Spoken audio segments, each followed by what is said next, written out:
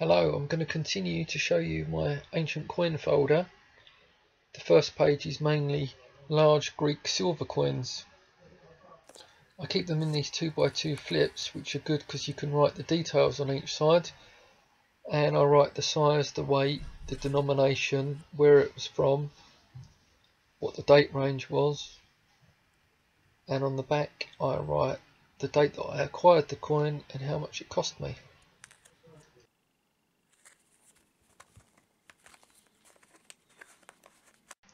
So the first coin we're going to look at is an Alexander the Great drachm, which is from Sardis, an island just off the coast of Greece. And this was really the first ancient coin that I acquired. It's got Zeus on the back, sitting throned, and you can tell whether it's a lifetime issue by whether his legs are crossed or not. And it's got the head of Heracles wearing a lion skin on the front. The next one is a bigger version, it's worth 10 times the amount and it's one of my favourite coins. And the next coin is a Corinthian stater featuring a Pegasus and on the other side Athena with a Corinthian helm. I think this is one of the most aesthetically pleasing coins I've got. The Pegasus is beautiful and the Corinthian helm features on some of the Britannia coins as well.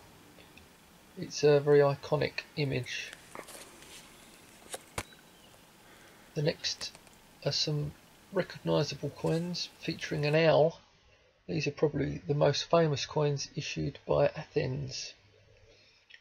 The two versions differ slightly. The archaic type has a sprig of olive and the more modern type has a bit of background with uh, names of various city officials and that helps to date them. And next Thasos Tet. It's quite a large, good looking coin and quite reasonable so it's a good one to start with because you get lots of show for your money.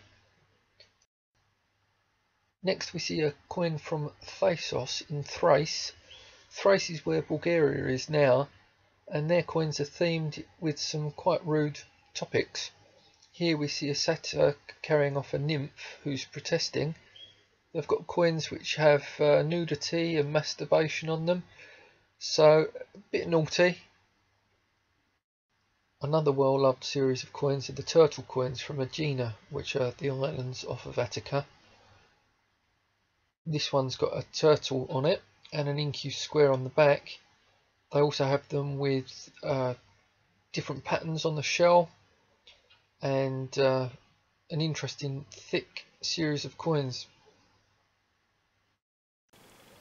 This next coin has the same design on both sides, but on one side it comes outwards and the other side it's stamped inwards. It's from Bruttium.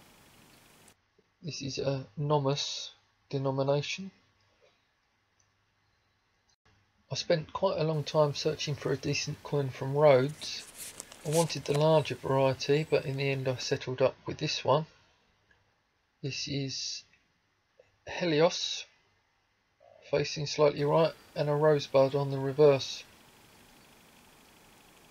This next one is from Lydia under Persian rule. Picked this coin up at the London Coin Fair. The photography is not that good, but it shows King Darius on one knee with a bow and on the other side an incuse pattern. And the final coin is from Istros in Moesia and this one has the juxtaposed heads of twins and an eagle standing on a dolphin on the reverse. This was also picked up at the London Coin Fair and it's quite interesting that sometimes the head on the left is the correct way up and sometimes the head on the right is the correct way up.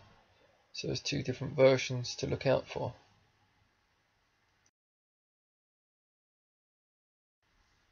Thanks for watching.